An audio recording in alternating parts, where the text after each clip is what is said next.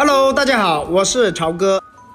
今天给大家分享一道非常好吃的美食，这种做法非常的独特，我相信好多朋友都没有吃过。如果按照我这个方法做一次的话，肯定会爱上它。下面我们一起来了解一下我的制作方法吧。首先，我们要准备一些比较长一点的青椒。首先，我们要选择我们手上这种青椒，至少有三十厘米那么长。然后往青椒里面加入一勺食用盐，再倒满大量的清水没过青椒。我们用食盐把青椒给它清洗一下，因为食盐有杀菌消毒的作用，能把青椒的杂质和灰尘给它清洗一下。因为我们买回来的青椒难免会有打过农药，所以我们一定要给它多清洗几遍，清洗干净。清洗干净以后，混水捞出来，放到案板上。接下来，我们把青椒的辣椒瓣切掉，不要了。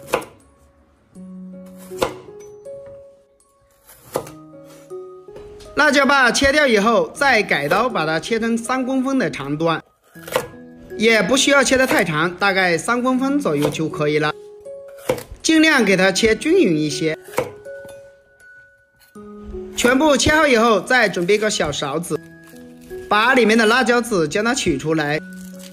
用小勺子的把轻轻的给它搅动一下，就能完全清理干净了。这样里面的辣椒籽就能轻松的取出来了。全部取出来，像这样子就可以了。里面一个小洞洞。全部处理好以后，直接放到碟子里面备用。接下来我们要准备一块瘦肉，最好是用前腿肉上面的瘦肉，就比较好吃，比较鲜嫩。把瘦肉给它切成薄薄的厚片，切好以后直接把它剁成肉末，要剁细一点。如果家里有绞肉机的，可以用绞肉机把它打碎。我个人觉得用刀剁出来的比较好吃一点。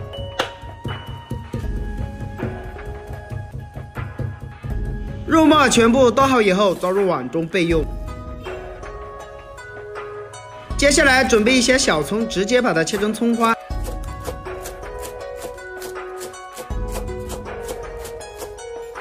葱花全部切好以后，直接放到肉末里面，然后往里面加入一勺食用盐，少量的胡椒粉，再打入一个鸡蛋，然后下手给它抓拌一下，抓拌均匀，把肉末给它搅至上劲，这里要多搅拌一会。要搅拌到肉馅有点黏黏的感觉，这样做出来的肉馅才特别的好吃。搅拌均匀，再加入一小勺玉米淀粉，然后再下手给它抓拌一下，抓拌均匀。加点玉米淀粉能让肉末更加的上劲，所以我们这里也要多抓拌一会，抓拌均匀。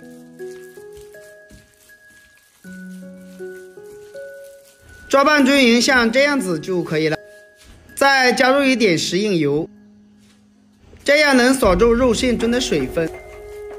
再次给它抓拌一下，抓拌均匀就差不多了。抓拌均匀，先放一边。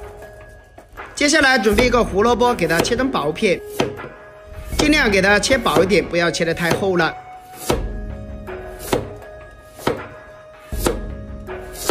切好以后，像这样子就可以了。然后把它拿出来，摆到碟子上面，将它整齐的摆放就可以。摆放整齐，先放一边。接下来我们准备个勺子，把肉末放到辣椒圈里面，就像我这样，给它舀一勺，把肉末给它塞紧，里面留一点小空隙就可以了。也是方便我们下一步的操作。按照我这个方法全部做好以后，直接放到胡萝卜上面，将它整齐的摆放就可以了。摆放好以后，我们先放一边。如果家里有条件的，我们要准备一些鹌鹑蛋。这种鹌鹑蛋的营养非常的丰富。然后把鹌鹑蛋一个一个的打入辣椒里面，这样做出来的辣椒就非常的有营养了。亲爱的朋友们，视频你都看到这里了，如果我的视频对你有帮助的话，就动动您发财的小手，给我点个赞呗！感谢大家一直以来对我的支持与鼓励，谢谢大家的支持。全部做好以后，这样就非常的漂亮了。接下来我们要准备一个蒸锅，把做好的辣椒全部放到蒸锅里面，然后把盖子盖上，开大火蒸个六分钟到七分钟左右。趁这个时间，我们要准备一些大蒜，给它切成蒜片。大蒜我们要多准备一些，然后剁成蒜末。蒜末全部剁好以后，倒入碗中备用。准备一块去了皮的生姜，切成薄片，然后再改刀切成姜丝，最后把它切成姜末就可以了。姜末切好以后，和蒜末放在一起。接下来我们直接切点葱花，葱花切好以后和蒜末放在一起。接下来调个料汁，一小勺食用盐，一勺鸡精，再加入点胡椒粉，一勺蚝油提鲜，再加入一点生抽酱油，一勺玉米淀粉。倒满一小碗清水，然后用勺子将它搅拌一下，搅拌均匀。提前调个料汁是为了炒菜节省时间。搅拌均匀以后，我们先放一旁备用。接下来把准备好的胡萝卜，最后给它切成薄片，再改刀把它切成丝，然后把它切成末就可以了。全部切好以后，装入碗中备用。接下来起锅，加入少量的食用油，把剩下来的肉末全部放入锅中，给它翻炒一下，把肉末给它炒熟、炒香、炒至变色。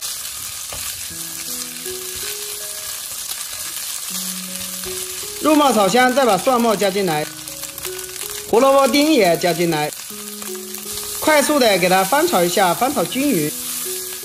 把胡萝卜给它炒熟、炒香就差不多了。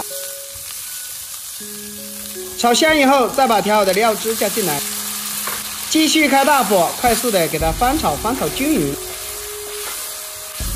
全部炒熟以后，先放一旁备用。